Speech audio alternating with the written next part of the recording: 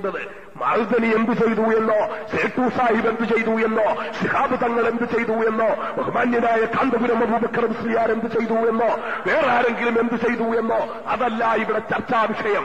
ഞാനിവിടെ പറയുന്ന വിഷയം നാലര നൂറ്റാണ്ട് കാലം ജഗന്നിയന്താവായ അള്ളാഹുവിന് സാഷ്ടാംഗം ചെയ്ത ബാബരി മസ്ജിദ് തട്ടി തകർക്കുമെന്ന് പറഞ്ഞുകൊണ്ട് ഇന്ത്യൻ മതേതരത്വത്തിന്റെ പ്രതീകമായിരുന്ന നാനൂറ്റി അറുപത് കൊല്ലക്കാലത്തിലധികം ഇന്ത്യൻ മതേതരത്വത്തിന്റെ മകുടോദാഹരണമായി ഉയർന്നു നിന്നിരുന്ന അള്ളാഹുവിന്റെ ഭവനം ഒരു മുസ്ലിം പള്ളി.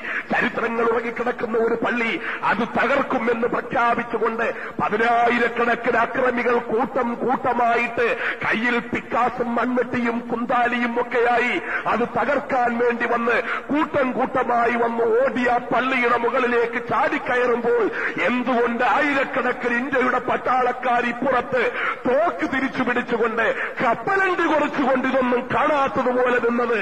എന്തുകൊണ്ടാണ് ഇന്ത്യയുടെ പട്ടാളക്കാരനോട് ഒന്നിലധികം പ്രാവശ്യം പാകിസ്ഥാനോട് യുദ്ധം ചെയ്ത് കരുത്തു തെളിയിച്ചിട്ടുള്ള ഇന്ത്യയുടെ പട്ടാളം ശ്രീലങ്കയിലും മാലിദ്വീപിലും പ്രശ്നങ്ങൾ ഉണ്ടാകുമ്പോൾ അവിടേക്ക് ചീറിപ്പാഞ്ഞു തന്ന അവിടത്തെ പ്രശ്നങ്ങൾ പരിഹരിക്കുന്ന ഇന്ത്യയുടെ പട്ടാളം കാശ്മീരിന്റെ നെഞ്ചത്ത് എവിടെയോ തീവ്രവാദ പ്രവർത്തനം നടക്കുന്നതിന്റെ പേരിൽ ആ തീവ്രവാദം നടക്കുന്നു എങ്കിൽ ഞങ്ങൾക്കതിനോട് യോജിപ്പില്ല. കാശ്മീർ പാകിസ്ഥാനോട് ചേർക്കാൻ ശ്രമിക്കുന്നുവെങ്കിൽ ഒരു മുസ്ലിമായ എനിക്ക് അബ്ദുൽ നാസർ ബാദരി പറയുന്നു എന്റെ മുന്നിലിരിക്കുന്ന ആയിരങ്ങളെ സാക്ഷ്യപ്പെടുത്തിക്കൊണ്ട് അവർക്ക് വേണ്ടിയും ഈ രാജ്യത്തെ മുസ്ലിങ്ങൾക്ക് വേണ്ടിയും പറയുന്നു. കാശ്മീരിന്റെ ഒരിഞ്ച് മണ്ണ് പോലും പാകിസ്ഥാൻ കൊണ്ടുപോകുന്നതിനോട് ഞങ്ങൾക്ക് യോജിപ്പില്ല എന്ന് വളരെ വ്യക്തമായി പറയുകയാണ്.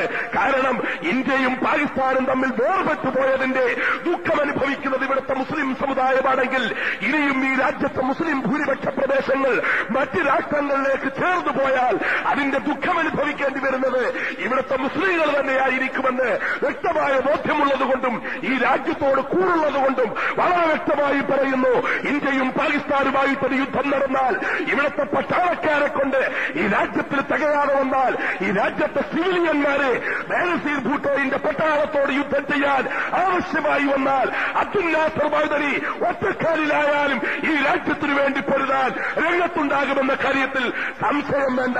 നിങ്ങൾക്ക് വേണമെങ്കിൽ മൈദരി രാജ്യദ്രോഹിയാണെന്ന് പറയാം. മൈദരി പാകിസ്ഥാൻ ചേർന്നാണെന്ന് പറയാം. മൈദരി ദാവൂദ് ഇബ്രാഹിമിന്റെ ഏജന്റാണെന്ന് പറയാം. മൈദരി ബേനസീർ ഭൂട്ടോയുടെ ബന്ധുവാണെന്ന് പറയാം. അതിലൊന്നും എനിക്ക് വിരോധമില്ല. ഇഷ്ടമുള്ളത് പറഞ്ഞോളുക. ഓരോരുത്തരും അവരവരുടെ പാരമ്പര്യം പറയുന്നു. എനിക്ക് പറയാനുള്ളത് കാശ്മീരിൽ കുഴപ്പം നടക്കുന്നെങ്കിൽ കുഴപ്പക്കാരെ ഒറ്റപ്പെടുത്തണം. കുഴപ്പക്കാരെ അറസ്റ്റ് ചെയ്യണം. അവരെ ജയിലിൽ നിൽക്കണം ശിക്ഷിക്കണം.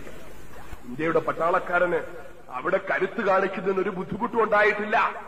കാശ്മീരിൽ വെടിവെക്കുന്നതിന് ഒരു ബുദ്ധിമുട്ടും ഉണ്ടായിട്ടില്ല പക്ഷേ ഞാൻ ചോദിക്കുന്നു എന്തുകൊണ്ട് ഈ കഴിവും കരുത്തുമുള്ള ഇന്ത്യയുടെ പട്ടാളക്കാർ ബാബരി മസ്ജിദ് തകർക്കുമ്പോൾ നോക്കി വെറും ഇനാം പേച്ചുകളെ പോലെ നോക്കി?